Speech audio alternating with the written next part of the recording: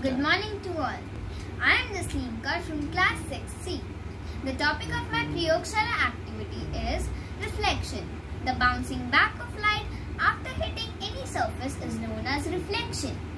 We see our images in the mirror. This is due to reflection only.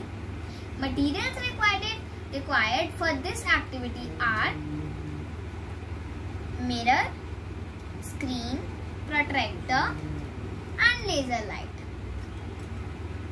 There are two laws of reflection, so let us start with the first law.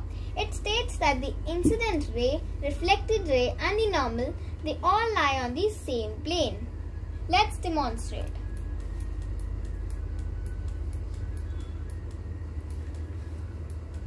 The point where the light hits the surface is known as the point of incidence. As you all can see clearly, this is the incident ray and this is the reflected ray.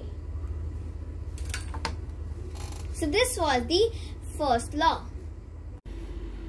Now comes the second law. It states that the angle of incidence is equal to the angle of reflection.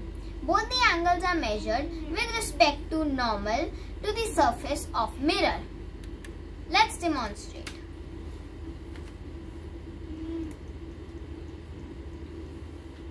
If I throw the light on 30 degree, it will reflect back from 30 degree only.